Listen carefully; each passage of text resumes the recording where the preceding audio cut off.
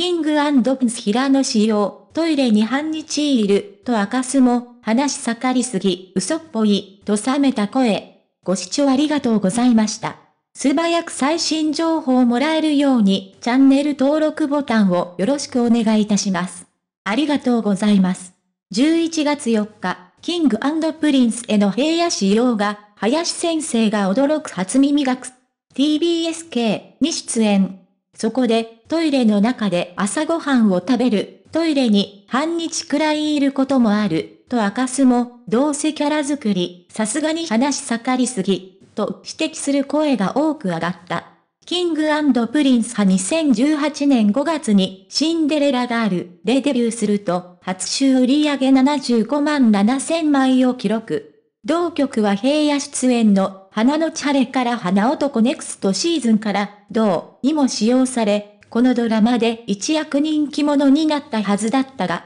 平野はここ、最近11月9日公開の映画ウィーラブの番宣のため数多くのテレビ番組に出演しています。デビュー後は、将来の夢はお札に乗ること、と言ってみたり、電柱にぶつかって血だらけになったエピソードを語るなどして、世間からも天然キャラとして思う白がられていましたが、さすがにトイレで朝ごはんを信じる人は少なかったよう。キャラ作り、お疲れ様完全に滑ってるといった声が上がり始めています芸能ライター。さらに、翌日5日に出演した通回 TV スカットジャパン、フジテレビ系でも過去バレンタインデーにもらった65個のチョコレートを全部フライパンに集めて溶かし、一つのでっかいチョコにして冷凍庫に保管してました、と衝撃のエピソードを披露。ネット上では、さすがに嘘っぽくない？